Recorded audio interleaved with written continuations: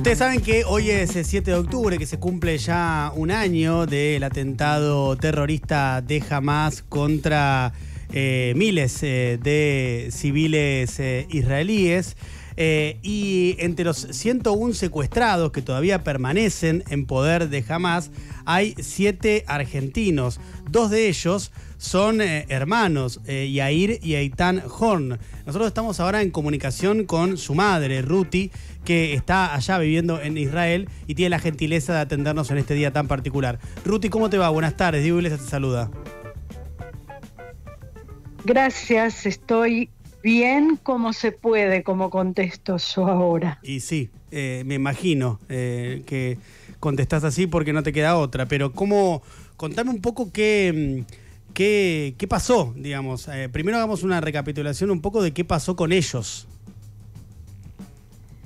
el 7 de octubre a las 6.29 sonó acá la sirena, yo vivo en Farsaba eh, ellos, Yair y Eitan, en ese momento estaban en el kibbutz Niroz, en la granja colectiva, que es donde vive Yair. Y estuve en contacto con Yair porque Eitan no estaba conectado a su WhatsApp. Me empecé a escribir con él, eh, están en el refugio. Me dice sí, el refugio es el dormitorio de él eh, cerraron la puerta con llave, me dice sí. ¿Cómo están? Le pregunto, me contesta de 10. Y lo último que yo le contesto, le escribo que veo que pasó el WhatsApp ese, pero no, no, no tuve respuesta de él. Al menos ahora no estás solo. Mm. Y, y después de ahí no supimos nada, absolutamente nada que estaba pasando no teníamos idea qué era lo que estaba pasando y alrededor de las 3 de la tarde el ejército llegó y empezó a revisar casa por casa y ahí nos enteramos que la casa de Yair está en pie, no la incendiaron, no se ve violencia, pero Yair y Aitán no están ahí. Eh, y ahí, o sea, vos te enterás el domingo entonces que habían secuestrado a tus hijos? No, no, no, el mismo sábado. El mismo sábado, ok, porque el sábado... no, pero no, perdón, perdón, pero no que estaban secuestrados, en principio estaban desaparecidos. Claro, claro. No, lo que, lo que nos informaban es que estaban desaparecidos. Recién el 25 de noviembre nos dieron una gran noticia por un lado, porque nos dijeron que están los dos con vida y no están heridos, eh, y, pero lamentablemente están secuestrados. Claro, Ruti, vos te enteraste de esto cuando eh, a través de unas negociaciones liberaron a eh, decenas de mujeres con sus hijos que, estaban secuestradas por jamás, ¿no? Y vos te enteraste por ellas, ¿verdad? Me enteré por ellas porque la gran mayoría también son de la granja colectiva donde vive Yair, Niroz, así que los vieron eh, no estaban juntos ellos, pero sé que ellos se vieron también entre ellos, que fue lo que me contaron estas mujeres. Eh, ¿Y qué significó para vos en ese momento, hace, bueno, ya 11 meses, ¿no? Porque fue un 25 de noviembre, eh, enterarte de eso, enterarte de que, de que ellos estaban ahí, de que se habían visto, ¿qué significó para vos? Para mí fue una emoción muy grande. Yo desde el primer momento segura este, estoy de que ellos están con vida. Es mi, la sensación que yo tengo. Pero bueno, el habérmelo afirmado, que, que sí están con vida y están bien y se vieron, fue una alegría muy grande. Pero ya pasó muchísimo tiempo. Claro, sí. Esa fue la última noticia que vos tuviste de, ellos, ¿no? De Yair y, de Itán, ¿verdad? Así es, es la, la, primera y la única noticia que tuve, aunque yo sigo sintiendo, los sigo sintiendo y sigo hablando con ellos todo el tiempo, les hablo, los trato de ayudar para que estén fuertes y que puedan salir de ahí y estoy segurísima que están con vida.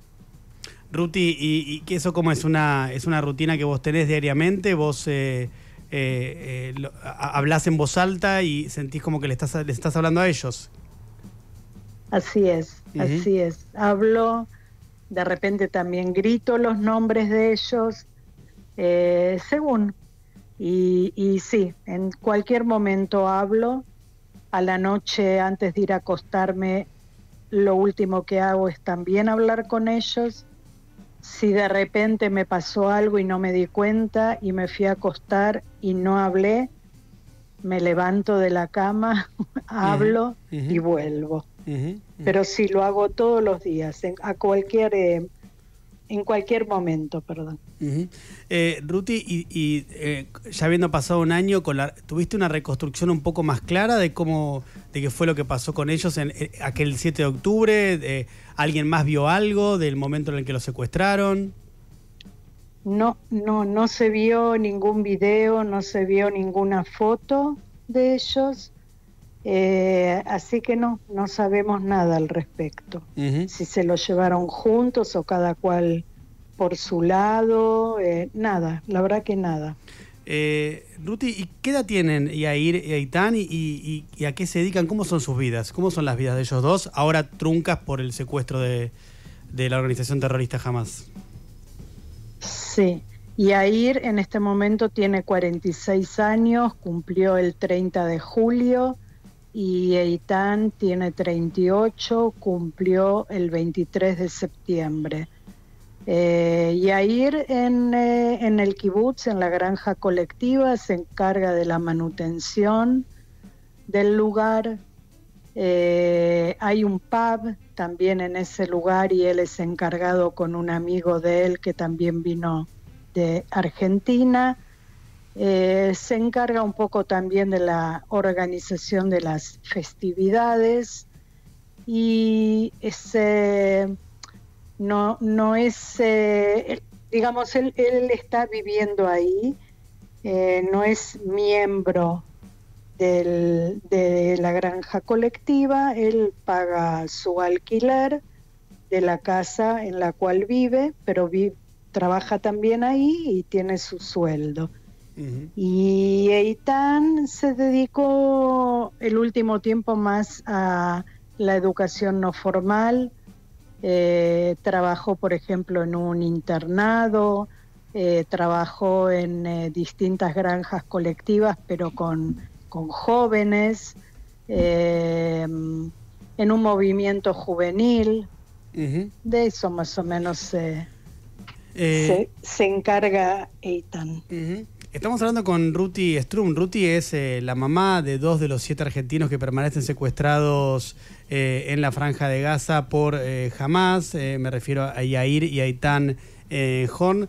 Ruti, y, mm, al momento sentís que lo que ha hecho el gobierno israelí para liberar a los secuestrados es suficiente? ¿Sentís que hay algo que podrían hacer que no están haciendo? ¿Qué es lo que a vos te pasa con eso? ¿Cómo lo estás viendo? Eh, mira, yo lo que pienso, hasta ahora algo hicieron, creo que quieran, que tienen que hacer algo más porque todavía no liberaron a todos los secuestrados. El día que liberan a todos los secuestrados, entonces yo ahí sí voy a poder decir que hicieron todo lo que tenían que hacer. Hmm. ¿Vos eh, eh, actualmente seguís estando en eh, Cafar Saba? Sí, sí, sí. ¿Y eso cuánto es más o menos de la franja de Gaza? Eh, más o menos, eh, mira, no tengo auto. Mm, no, pero, pero más, no, más o menos son tres horas ah, de viaje o por tal vez un poquito más. Pero del kibutz donde vive Yair, eh, en, unos minutos llegan de un lado al otro. Claro, eh, donde fueron secuestrados es el kibbutz eh, Nir Oz, ¿no? ¿Es ahí? Así es, Nir Oz, así es. Eh, ¿Y cómo, cómo sentís que está en estos momentos la, la sociedad israelí? ¿Vos vivís ahí? ¿La conocés? ¿Cómo sentís que está en estos momentos? ¿Es una sociedad que está unida, que está dividida, que tienen diferencias? ¿Cómo, cómo ves que está está transcurriendo este momento? Mira, acá hay de todo, ¿no? Por supuesto, hay de derecha, de izquierda, hay eh, religiosos, hay laicos, eh, y en la sociedad israelí también hay eh, árabes que viven acá en Israel, y también hay católicos, hay de todo. yo siento el apoyo, yo siento el apoyo de la gente, del pueblo, es lo que yo siento, lo siento que están todo el tiempo conmigo. Por supuesto, siempre va a haber eh, algún tipo de diferencia, pero la mayoría de la gente en este momento estamos todos tratando de tirar para el mismo lado, porque la mayoría de la gente entiende, y yo también entiendo, que hasta que no vuelvan los secuestrados, nosotros no vamos a poder volver a ser lo que éramos antes del 7 de octubre. Eh, ¿Qué sentís que cambió en vos después de ese día? Em, la verdad que yo no sé si cambió algo. Yo eh, tal vez lo que cambió en mí es que estoy mucho más con mucha más fuerza y mucha más energía para luchar por el regreso de mis hijos, que no ni me imaginé que yo iba a poder hacer todo lo que estoy haciendo. Eh, vi en algunas, en algunas eh, entrevistas, eh, no solo de ahora, sino hace un tiempo, que hay familiares que intentan acercarse lo más posible a, la, a algunos de los puntos de la frontera de Franja de Gaza con Israel y con altavoces tratan de darle ánimos a eh, las personas que están secuestradas, como eh, eh, sintiendo que los pueden escuchar, ¿no? ¿Participaste alguna vez de eso? ¿Cómo es? No, no, yo no participé, pero en alguna de las veces hubo otras personas que no son de la familia, pero que les pedimos y, y sí, y gritaron para que Yair y Eitan escuchen.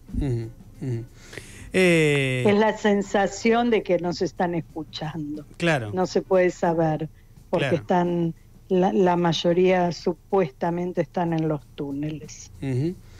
Eh, ¿Cómo ves eh, o qué pensás de la guerra que ya lleva un año? ¿Crees que, va a terminar pronto? ¿Qué, ¿Qué pensás? Eh, lo que quiero. quiero que termine Lo que querés, lo que querés, es verdad. debería haberte preguntado qué querés. No, no, está bien, está bien. Pero es lo que quiero, quiero que termine cuanto antes que se termine todo esto porque es un sufrimiento para todos, para todos.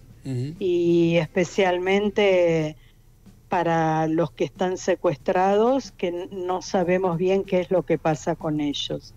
Sabemos lamentablemente que muchos de ellos ya están sin vida, pero todos tienen que volver acá. Los que están sin vida, que reciban sepultura en su tierra y los que están con vida para rehacer las vidas de ellos. Mm. Eh, Ruti, te hago una más, además de lo que vos quieras eh, decirme luego que yo no te haya preguntado. Eh, te hago esta consulta de, con, mucho, con mucha delicadeza porque entiendo que tu situación es muy particular porque debe ser inimaginable, por lo menos para mí, el, el, dolor que vos atravesás junto con tu familia porque tus dos hijos están secuestrados por una organización terrorista hace ya un año. pero teniendo en cuenta eso, te quiero preguntar también cómo vos... Eh, ¿cómo te llega a vos también lo que eh, están sufriendo los civiles palestinos? Eh, no, no, por supuesto, la organización terrorista jamás, pero lo que está pasando con los civiles, vos eso cómo, cómo lo estás viendo, cómo lo vivís, qué te pasa con eso? Mira, creo que nadie tiene que estar sufriendo como está sufriendo. los terroristas, bueno, jamás es otra cosa, pero lamentablemente eh, mucha de la gente, de los palestinos, eh, después que los terroristas salieron de las granjas colectivas, entraron y saquearon todo. Eh, entiendo que será que lo hicieron, no sé, o quiero creer que lo hicieron por necesidad, quiero creer. Pero entonces ahora como que uno duda de y hasta dónde puedo yo ayudarlos, porque hay mucha gente acá que los ayuda a los palestinos, que los trae acá a Israel cuando necesitan ayuda médica. Y entonces toda esa gente ahora se está preguntando, ¿sigo ayudando o no sigo ayudando? ¿Hice bien o no hice bien? Mm. Eh, pero sí, yo no estoy de acuerdo con el sufrimiento de nadie.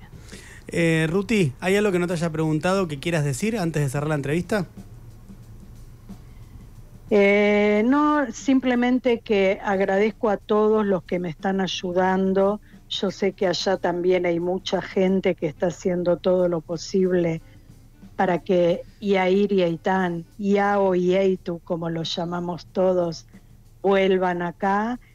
Y si me permitís, les digo unas palabras a Yair y a Itán. Por supuesto. Si de casualidad están escuchando. Por supuesto, Ruti, lo que vos quieras. Eh, bueno, gracias. Y Aitu les pido por favor, chicos, como les digo todos los días, sigan fuertes. Yo sé que ustedes son fuertes y que van a salir de ahí. Un poco más, un poco más y ustedes van a estar de vuelta acá con todos nosotros. Fuerza, chicos, los quiero. Ruti, te agradezco mucho eh, por, este momento y por supuesto que te deseo que pronto te puedas reencontrar con tus hijos. Muchísimas gracias, gracias, que todos los secuestrados vuelvan y sigan ayudándonos. Gracias. Te mando un beso muy muy grande. ¿eh?